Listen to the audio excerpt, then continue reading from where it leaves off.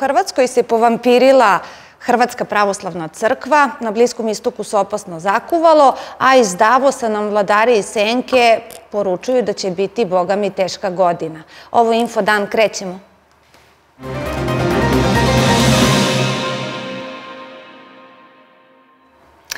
Pre nekoliko dana u Hrvatskoj se desio jedan neobičan događaj. U pitanju je bila proslava Božića i jedna organizacija koja pretenduje da se nazove uh, Hrvatskom pravoslavnom crkvom je prisustvovala, organizovala taj događaj, a prisustvovali su, boga mi, predstavnici hrvatske vlasti. Da li je to nešto što treba da nas brine? Moj današnji gost je Dejan Ristić, istoričar i direktor muzeja žrtava genocida. Dobar dan, hvala vam što ste došli. Dobar dan. Ja sam ukratko ispričala šta se desilo nedavno u Sinju. Je li to naivno ili nije naivno? To naravno nije ni malo naivno. Mi vrlo često umemo da, da neke istorijske procese dugog trajanja koji ugrožavaju bitisanje srpskog naroda i srpske države na ovim prostorima minimiziramo, da obesmišljavamo, da, da, da se smejemo tome, da, da pravimo pošalice i da onda posle kada to postane ozbiljan problem, kada eksplodira pred našim očima, da onda kažemo pa čekajte šta se to desilo, pa zašto se desilo, otkud sad pa to i slično. Dakle, e, e, ta ideja o formiranju Hrvatske pravoslavne crkve nije novijeg datuma Ona je već jednom bila formirana ne kao crkva, već kao paracrkvena organizacija u vreme nezavisne države Hrvatske. Bila je formirana odlukom hrvatskih vlasti, dakle hrvatskog poglavnika i hrvatskih državnih organa u periodu drugog svjetskog rata i tada je za poglavara te takozvane Hrvatske pravoslavne crkve bio izabran, odnosno postavljen, e, jedan od e, ruskih mitropolita koji je dobio titulu arhijepiskop Germogen. On je nakon drugog svjetskog rata bio lišen slobode, suđeno mu je, osuđen je na, na smrt i izvršena je smrtna kazna nad njime od strane novih vlasti, dakle vlasti socijalističke Jugoslavije. Cilj formiranja Hrvatske pravoslavne crkve i tada, tokom drugog svjetskog rata, kada je usledio taj prvi pokušaj i prethodnih nekoliko godina kada postoje određene tendencije da se obnovi rad te paracrkvene, dakle ne crkvene organizacije, već paracrkvene, dakle lažne crkvene organizacije, jeste više struk. Dakle, s jedne strane da se pokuša da se e, srpski pravoslavni živalj na teritoriji današnje Republike Hrvatske, koji je prisutan u izuzetno malom procentu od svega, negde oko 3%, da se odvoji od tela Srpske pravoslavne crkve, kako bi se formirala nekakva Hrvatska pravoslavna crkva, kako bi vremenom oni bili prevedeni iz pravoslavnih Srba u pravoslavne Hrvate. Dobro, a ko su ovi ljudi? To je neki Hrvatski pravoslavni centar. Tako je. Pominje se neki Mišić, je li tako? On je Srbin. On je učestvovao u ratovima za jugoslovensko nasledđe na teritoriji nekadašnje Hrvatske od... Na strani Hrvatske? Naravno. I, i, i ne treba smetnuti sa uman. E, bilo je Srba koji su učestvovali na strani Hrvatske u, ratovima za, za, jugoslovensko nasledđe, dakle, 90. godina prošlog veka u ovom slučaju, dakle, od 1990. 91. pa do 95. godine, kada je taj sukob okončan na teritoriji Hrvatske, kao što je bilo Srba koji su učestvovali u, u državnim organima, vojnim i policijskim organima nezavisne države Hrvatske. Dovoljno je da podsjetimo da je više od deset Srba da su imali čin generala u nezavisnoj državi Hrvatskoj. Da je jedno kraće vreme načelni generalštaba nezavisne države, snaga nezavisne države Hrvatske bio Srbi. I sad taj uh, Mišić hoće da napravi Pavelićevu, da obnovi Pavelićevu Hrvatsku pravoslavnu crkvu. On neće, on neće ništa. On je samo pion. Dakle, bitno Dobro. ko stoji iza toga. Pa ko stoji uh, iza toga? Pa, kako da kažem, ja veram da se naši državni organi intenzivno bave i praćenjem ovog fenomena, ne samo pojedinca, već fenomena, i analizom potencijalnih štetnih posledica i naravno prevencijom tih potencijalnih štetnih posledica. Ono što mi istoričari možemo da kažemo, dakle, da tome treba pristupiti veoma ozbiljno, veoma odgovorno, da nipošto ne treba okretati glavu na dugu stanu, odmahivati rukom i smejati se tome. Dakle, trenutno, se nakon čitavog niza pokušaja u različitim formatima, određene strukture su se opredelile da pokušaju da obnove Hrvatsku pravoslavnu crkvu kroz takozvani Hrvatski pravoslavni centar, kroz jedno udruženje građana, na čim je čelu Srbin iz Hrvatske, Predrag Mišić, učesnik oružanog sukoba u Hrvatskoj 90. godina na hrvatskoj strani. On je e, učestvovao, kako oni to zovu, u domovinskom ratu, on je ima status branitelja, vrlo je ponosan na to i on za sebe govori da je hrvatske nacionalnosti i srpske narodnosti. Dakle, Kako to postoji? Pa to je nemoguće, naravno. Ne možete da imate jednu nacionalnost, a drugu narodnost. Dakle, tu govori o, o određenoj vrsti identitetske šizofrenije ili podvojenosti. Dakle, ne govorimo u medicinskom smislu, govorimo u identitetskom smislu. Da, da. Jel? Stručnjaci u oblasti medicinskih nauka mogu to na svoj način da protumače, ja to ne mogu, zato se ograđujem, dakle, kada kažem identitetska šizofrenija, mislim na, na, na podvojenost u smislu da, da, da A je li to državni projekat? Da li zapravo iza toga stoje vlasti? Jer oni su poslali, ako se ne varam, i e, izaslanike predsjednika i premijera. Tako je, bio podpredsjednik Sabora. To je ono što je zabrinjavajuće. Pazite, to nije prvi put da hrvatski državni zvaničnici dolaze na nekakve javne skupove mhm. e, organizacija koje pokušavaju da revitalizuju Hrvatsku pravoslavnu crkvu. Po prvi put e, na ovaj skup, a to je bio božićni prijem 6. 6. januara u jednom selu u blizini Splita, u jednom ugostiteljskom objektu, dakle potpuno obskurna atmosfera i ambijent, e, e, e, po prvi put nisu došli predstavnici Rimokatoličke crkve. To je recimo vrlo zanimljivo i ono što je našoj javnosti potpuno promaklo prethodne godine, Biskupska konferencija Hrvatske ima čitav niz komisija. Jedna komisija je za ekumenski dijalog, ona zaseda nekoliko puta godišnje i prošlog proleća, ukoliko se ne varam, je zasedala i razmatrala nekoliko tema, od kojih i temu Hrvatske pravoslavne crkve. I zauzela stav, što je vrlo zanimljivo i vrlo indikativno, da Hrvatska biskupska konferencija ne bi trebalo da podrži bilo kakvo formiranje Hrvatske pravoslavne crkve, već da pitanje pravoslavnih vernika treba prepustiti pomestnim pravoslavnim crkvama, u ovom slučaju Srpskoj pravoslavnoj crkvi, da Rimokatolička crkva u to ne treba da se meša uopšte. To u našoj javnosti apsolutno nije bilo ni primećeno, ni evidentirano. Kao posledica te preporuke, te komisije za ekumenski dijalog Hrvatske biskupske konferencije, po prvi put na jednoj ovako provokativnom, na jednom ovako provokativnom događu izostaje predstavnik Rimokatoličke crkve. Sada, da li je to promena u odnosu na dosadašnje, dosadašnju praksu, prerano je da se kaže. Ali je indikativno i veoma zanimljivo za analizu. Na prethodnim skupovima, sličnim, prethodnih godina pojavljivali su se ne samo sveštenici, monasi i monahinje, već su se pojavljivali i pojedini biskupi, posebno oni biskupi koji su potpuno otvoreno proustaški nastrojeni i oni to ne kriju, poput biskupa Košića i, i drugih, koji su vrlo, vrlo grlati da, da, da brane tekovine nezavisne države Hrvatske i da, da manipulišu istorijskim činjenicama. Dakle, e, šta treba raditi? Pre svega treba dobro, dobro voditi računa o tome šta se dešava Ali to traje već nekoliko godina koliko sam ja pogledala spremići se za temu i to nije jedina organizacija koja to radi. Ima izvesni, da ne promašim ime, mislim da se zove Bonifacije, koji je čak i katolik, on čak i nije pripadnik pravoslavne crkve. Ima neki čovek koji se predstavlja kao episkop Aleksandar, koji je u mhm. stvari Bugarin, bivši operski pevač koji je došao tek 2013. u Hrvatsku i napravio crkvu. Ima ljudi koji očigledno e, imaju neku intimnu potrebu da se kostimiraju. Pa imate Miraša Dedejića da, da. u Crnoj Gori koji se kostimira u nekakvog mitropolita. Imate tog arhijepiskopa Aleksandra, tog Bugarina, koji izigrava arhijepiskopa nepostojeće Hrvatske pravoslavne crkve. Dakle, nije problem u nekakvim ličnim intimnim potrebama da neko nešto radi. To tretiraju... E, ali oni traže da se registruju kao crkva, to je problem. To medicinska nauka, te fenomene. Da. Ovde je bitno pitanje na koji način jedna država, pravna i demokratska država, mhm. kakva treba da bude Hrvatska, reaguje na takve pojave. Pazite, e, e, Crna Gora je registrovala Crnogorsku pravoslavnu crkvu, iako ona nije pravoslavna crkva i dala i status verske zajednice. Znate, pre nekoliko godina. I to je izazvalo mnoge, mnoge probleme na stranu, što ona ni danas ne postoji kao verska zajednica. E, sad pa se pocepaše. Međusobno su se, pazite, da. da kažem, paracrkvena organizacija koja se međusobno još i pocepa, dakle, unutar da. sebe se, se rastoji, dakle, to je tek posebna priča. Ali, što hoću da kažem? Dakle, mi imamo nekoliko žarišta na srpskom etničkom prostoru, gde imamo pokušaje stvaranja nekakvih pravoslavnih crkava, mm. koje treba da budu e, antisrpski nastrojene i koje treba da identitetski izvuku deo srpskog stanovništva autohtonog, autentičnog, iz srpskog etničkog korpusa u neki drugi. U slučaju Crne Gore to je u Montenegrine, jel? savremene Crnogorce, u slučaju Hrvatske u Hrvate. A da pogledamo, baš ja sam našla jedan od nastupa, ne znam kako to drugačije da kažem, ovog episkopa Aleksandra. on je na nekom stratištu bio, održavao je valjda pomen ili tako mhm. nešto. Samo da čujete kako to izgleda, mislim da će biti zanimljivo i gledaocima. miserendosi. Poštovana braćo i sestre u Hristu,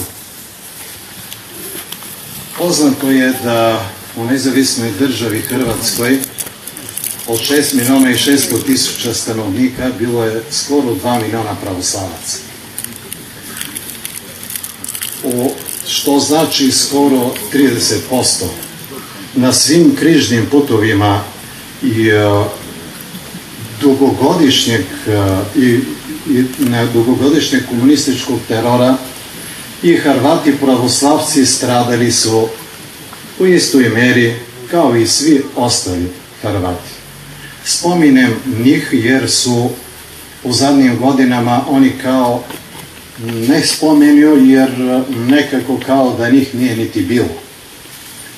A svi su stradali od komunističkog terora. Nije bila podjela zbog vjere. Bitno je da su bili Hrvati. Tako i poglavar Hrvatske pravoslavne crkve, hrvatski patrijarh Germogen, sarajevski episkop Spiridon Mivka, kao i svi pripadnici klera Hrvatske pravoslavne crkve, kao i puno vjernika, ubijeni su zbog toga što su pokušali razjediniti srpskog naroda u Hrvatskoj. A gdje je taj srpski narod? Po mene srpski narod u Srbiji. A, on kaže srpski narod ne postoji, to je samo narod u Srbiji. Ne znam da li ste primetili da je iza njega bio ustaški grb, onaj koji počinje sa belim poljem. Uh -huh. Pazite, ako abstrahujemo činjenicu da dobro ne govori naš jezik, e, čovjek je izgovorio čitav niz potpunih nebuloza. Dakle, apsolutnih nebuloza. Vidi se da se radi o osobi koja očigledno ne kontroliše. Ali taj čovjek navodno ima 16.000 pristalica u Hrvatskoj Srba. Bar tako, ja mislim da je to podatak Save Štrpca, ako se ne varam. Pazite, e, e, u NDH, pa onda u Savremenoj Republici Hrvatskoj, postoji tendencija e, prevođenja Srba iz etničke srpske skupine u Hrvatsku, iz verske skupine pravoslavnih hrišćana u rimokatolike hrišćane. Dakle, ništa to nije sporno, ništa to nije novo. To postoji i u rimokatoličkoj crkvi, dakle, to je unijaćenje. Postoji, dakle, globalno posmatrano. Pogledajte situaciju Ukrajine i mnogih drugih teritorija. Dakle, ništa novo u nauci. To su, to su pojave, to su istorijski procesi dugog trajanja koji postoje vekovima. U pojedinim periodima istorije oni su kulminirali kroz pogrome, kroz genocide i slično, poput genocida koji je počinjen nad pripadnicima srpskog naroda na teritoriji nezavisne države Hrvatske. Dakle, prvo postavlja se pitanje da li može da postoji Hrvatska pravoslavna crkva. E, po, po crkvenim kanonima e, pravoslavna crkva može da postoji kao autokefalna, samostalna, isključivo na teritoriji one države koja je dominantno pravoslavna sa konkretnim pravoslavnim življem, etnički definisanim.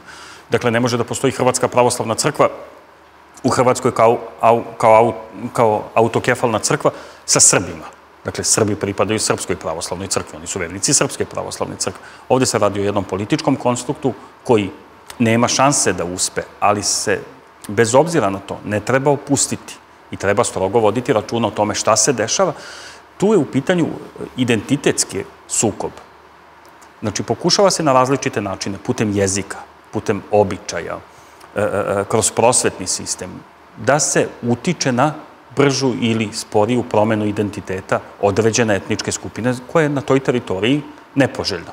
Znači, potpuno je jasno da su Srbi kroz istoriju, a posebno u periodu drugog svetskog rata, bili nepoželjni na teritoriji Hrvatske države. Na kraju krajeva ne bi se desio genocid nad Srbima da su bili poželjni kao građani, naprotiv. Pa i ovaj kaže ne postoje Srbi u Hrvatskoj. Ma naravno, ali kažem, e, e, e, postoje ljudi koji su ekstremi u, javnom životu, ova osoba to svakako jeste. Ali bez obzira na to,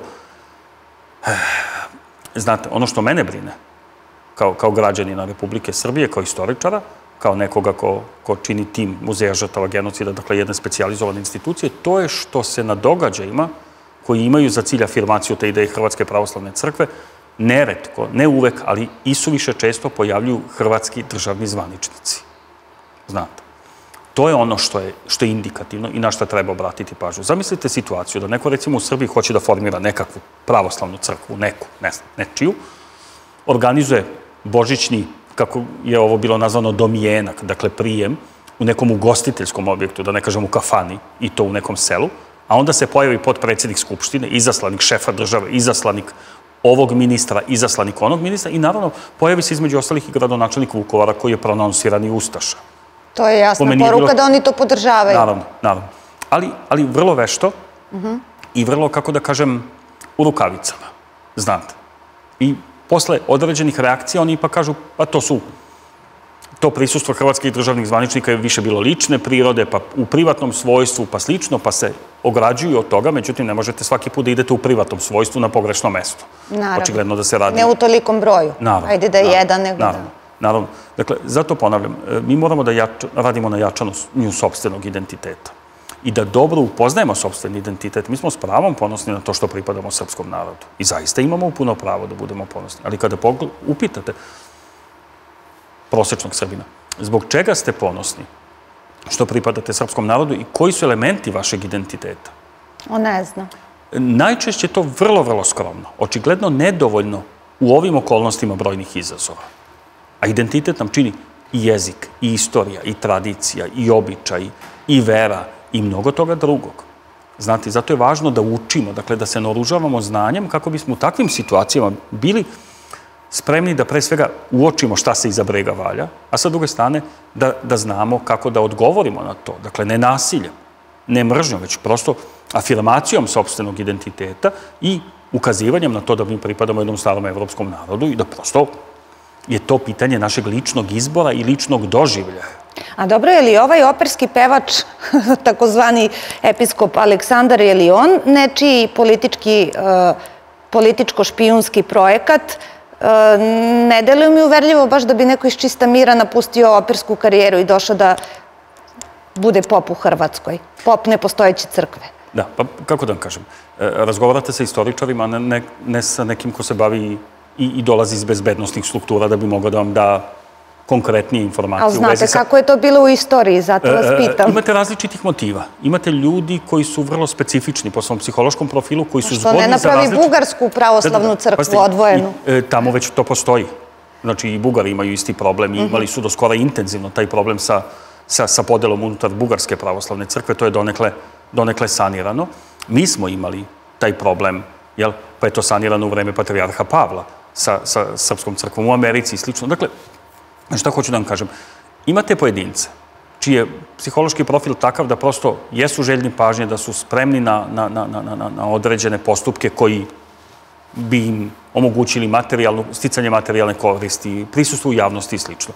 I oni su zgodni za zloupotrebe od stranih e, pa određenih centara moći. Dakle, koji je motiv konkretne osobe da napusti opersku karijeru, karijeru operskog pevača i da se kostimira u episkopa, osim što se kostimiraju na operskoj sceni, pa pretpostavljam da mu nije bilo teško da sada obuče mantiju, da. ali koji su zaista razlozi, to, to ipak mogu da odgovore ljudi iz struka koju ja ne pripadam. Ali on ima ozbiljno političko delovanje. On je održao nekoliko konvencija. Sad ćemo da vidimo uh, prilog sa jednog od tih konvencija koje su uh, sa vrlo grubim političkim porukama protiv Srba. Evo sad ćete da vidite.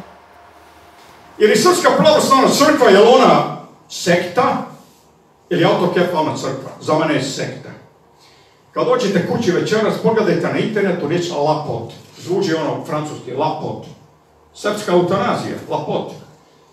To su govorili, ubio ga hlebe. To znači, kad bi neko ostaje u to, moj djed je govorio cincarska plemena, hibridni Srbi, to su poganski običaji. Odvedu staru ili staru u šumu, stave pogaćanu tiku i razvale ga maljom. Kaže, ubio ga hleb. Imate to na internetu. Evo, srpska eutanazija. Toliko o multikulturalizmu. Kad, a, onda bi gledali, jeste gledali groblja srpska ikada? 27 dana nakon smrti imate šteračinu, vatrna voda, rakija, hrana i odjevni predmete ovih e, umrlih. I to znači, to su običaji, imali to veze, to su poganski običaji, nek tako bude. Ali isto vrijeme kad čovjek umre, to mi je djed govorio iz Bihaća tamo rođen, umre mrtvac, uzmu igled iz bodu tabane da zli duhove izrađu. Koliko je Srba pokršteno? Istinski Srba, ne hibridni, ovi cicarski plemena i tako dalje. To moramo gledati. A još jedna važnija stvar. da se Srpska pravoslavna crkva nikad nije javno distancirala od zločina velikog srpskog imperializma. Nikada, nikada. A taj imperializam ubio, šta pod kokardom, šta petokrakom, od 1912. godine do dan danas koliko stotine tisuća ljudi. Žderačina, na groblju, genocidaši, srpska eutanazija, lapot i tako dalje i tako dalje. Nije ni bitno ko je ovaj čovek, poenta je da je to nešto što organizuje takozvana Hrvatska pravoslavna crkva. Koliko je to opasno za narod tamo? Pa, e, za naše su narodnike izuzetno. Izuzetno zato što oni moraju da žive sa time. I nalaze, nalaze se između Čekića i Nakovnja, dakle između svoje Srpske pravoslavne crkve, koja pokušava da obnovi svoje delovanje, svoje svetinje i svoj bogoslužbeni život na teritoriji Republike Hrvatske. U većoj ili manjoj meri to uspeva, nekada u većoj, nekada, nažalost, u manjoj. I sa druge strane postoji ta, ta potreba ili želja Hrvatske države da omogući postojanje ovakvih paracrkvenih udruženja građana. Dobro, zar taj narod tamo ne zna istoriju? Zar ne znaju šta je bilo za vreme drugog svetskog rata? Naravno da velika većina zna. I, i, i naravno da velika većina e, ljudi koji inkliniraju ovim pojavama, poput takozvane Hrvatske pravoslavne crkve ili Hrvatskog pravoslavnog centra, nisu Srbi. Osim nekoliko ekstrema koji zaista jesu naši sunarodnici, ali imaju taj, taj problem udvojenog identiteta, makoliko to bilo neobično. Dakle, ovde se radi o sledećoj stvari. Ponavljam, to jeste jedna opasna pojava, koja je svoju kulminaciju doživjela u periodu drugog svetskog rata, kada je formirana Hrvatska pravoslavna crkva, ne po crkvenim kanonima, već odlukom države, dakle, svetovnom legislativom. Ona je trajala koliko i oni koji su je stvorili, dakle, trajala je do 1945. godine, kada je prosto prestala da postoji i kada su, pre svega, njen poglavar, pod znacima navoda, naravno poglavar, arhijepiskop Germogen, bili, ponavljam, suđeni, osuđeni na smrt i nad njime je izvršena... Oni su osuđeni na smrt e, zašta? Za koje zločine? Oni nisu osuđeni za zločin, oni su osuđeni za kolaboraciju. Mhm. Znate. Što je sasvim dovoljno. Znate, kolaboracija sa nezavisnom državom Hrvatskom je ratni zločin par excellence. Da. Tako da su, dakle, oni osuđeni potpuno u skladu sa propisima i nad njima je izvršena smrtna kazna. I... Posle su ih žalili, kaže, to su žrtve komunističkog režima. Isto kao i Stepinac. Kako da kažem, e, e, socijalistička Jugoslavija je, kada je odnos prema tradicionalnim verskim zajednicama, bila apsolutno negativno nastrojena, ali selektivno negativno nastrojena. Najveći pritisak i najveće nasilje vršeno je nad pripadnicima klera Srpske pravoslavne crkve. Što je ona bila i najveća tradicionalna verska zajednica na teritoriji i Kraljevine ranije, a ono što je bilo bitno, socijalističke Jugoslavije. Rimokatolička crkva, odnosno Rimokatolička crkva na teritoriji tadašnje Jugoslavije bila u stvari samo deo jedne internacionalne crkvene organizacije koja se zove Rimokatolička crkva i koja svoje sedište ima van, koja je imala van teritorije Jugoslavije, dakle u Rimu, pri Svetoj stolici. Srpska pravoslavna crkva imala i ima svoje sedište, dakle ovo administrativno u Beogradu na teritoriji tadašnje države. Dakle, e, e, to je nešto što treba dobro, dobro poznavati i u tim procesima istorijskog trajanja uočavati tendencije koje vode ka oživljavanju određenih. A dobro, u kom smo mi sada istorijskom trenutku? imali smo nekoliko incidenata, evo i ovaj, ova božićna proslava, tako da mhm. nazovem.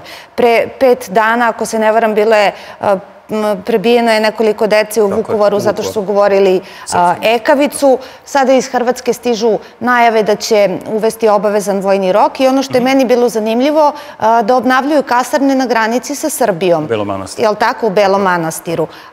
Kad sve to saberete, jel ima razloga da se brinemo? Naravno da ima. Ali to nema veze samo sa srpsko-hrvatskim odnosima, to ima veze i sa globalnom situacijom. Mhm sa situacijom na istoku Evrope, na Bliskom istoku i slično. Dakle, očigledno je da se čitav niz država intenzivno naoružava. Dakle, mi imamo dva velika oružana sukoba koja, koja traju i pitanje je da li će negde buknuti i treći oružani sukob. Normalno je da se države naoružavaju, da, da, da pokušavaju da zaštite sebe u ovoj fazi, a onda ukoliko što imate... Što nastave na granicu s Mađarskom, što baš prema sada, Srbiji. E, vidite, e, to je sada kada, kada stvar svedemo na, na region i na srpsko-hrvatske odnose, onda je naravno to e, e, pitanje za jednu ozbiljnu analizu. Zbog čega se donose takve odluke i zbog čega Hrvatska vidi opasnost koja joj preti sa istoka zvanično, to je zbog migrantske krize Da. i, i strepnje da će doći do novog talasa migracija sa azijskog kontinenta ka, A zapravo?